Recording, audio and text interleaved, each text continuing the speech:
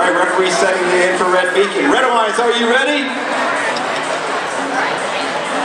Overdrive, ready. You ready over here? Ready? Okay, here we go. Three, two, one, Joe.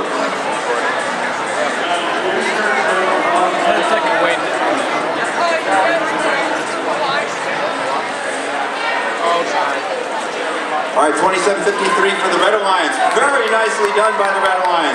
Hanging there, autonomous ring, where the IR beacon is. We got a little bit of stall for the Blue Alliance. Only a few seconds left.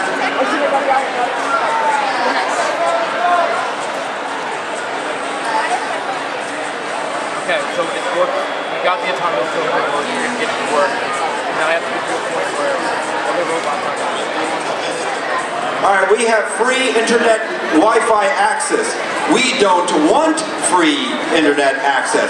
Whoever has free Wi-Fi internet access turned on, please shut it down. Please shut it down.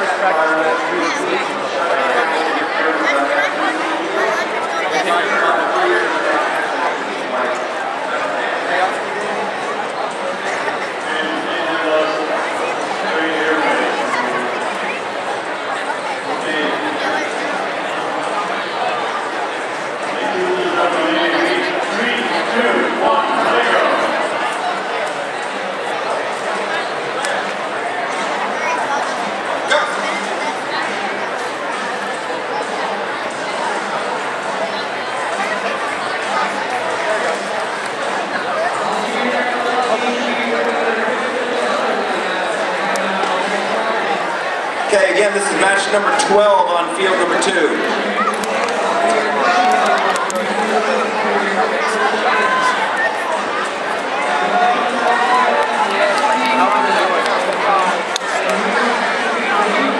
Come on, Holly.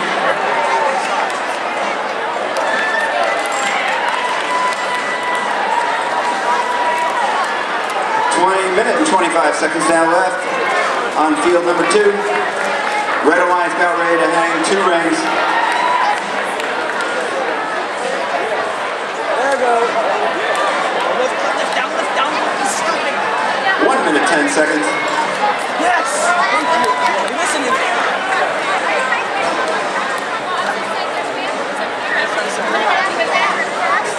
LANLords, Team 4977, making their way over with two rings.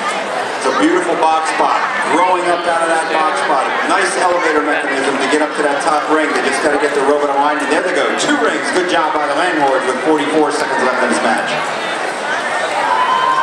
Red Alliance on the opposite side have two rings up. Let's see if these guys can form a row. We've got time yet with 36, 34 seconds left. And we're now in endgame.